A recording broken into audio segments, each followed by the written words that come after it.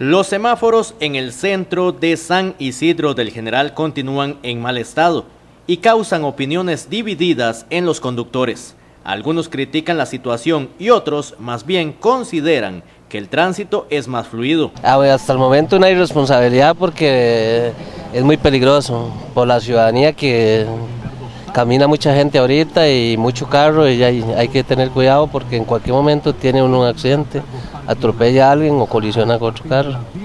Estas cosas se deberían de arreglar lo más antes posible.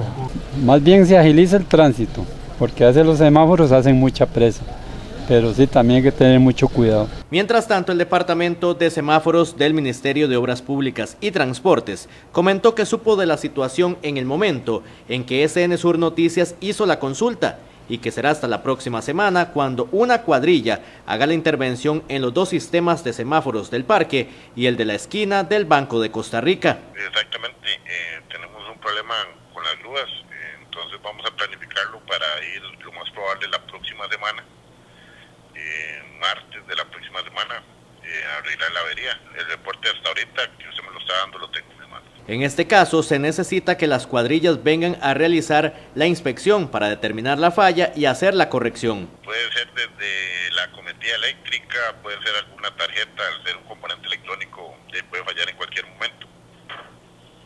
Y digamos que esas son las opciones. Eh, el control o la cometida.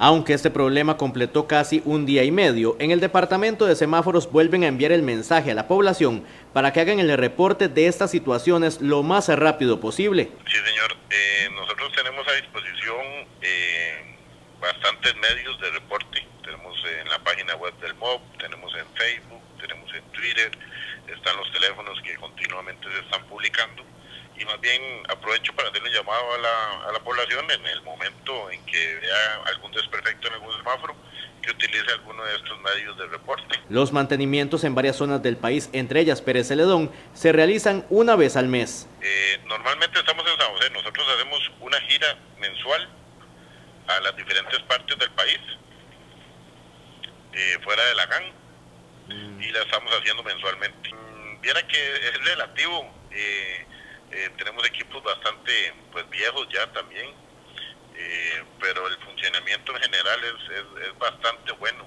O sea, es, eh, una avería eléctrica o electrónica se puede dar en cualquier momento y nosotros hacemos un mantenimiento preventivo, pero aún así podría ser hasta, por ejemplo, para que una idea, algún rayo que cayó cerca que nos queme el equipo. El de respeto de las señales es el mejor consejo de las autoridades. Que respeten el señalamiento vertical y horizontal. Y la cortesía, el mejor consejo de los conductores. Es importante porque si no, ya imagínense el problema que se puede ocasionar en cualquier momento aquí, en cualquier esquina de estos. Más aquí que hay conductores que no tienen mucho cuidado y hay peatones que también no se fijan mucho y es peligroso ambos. Los demás semáforos en San Isidro del General sirven con normalidad.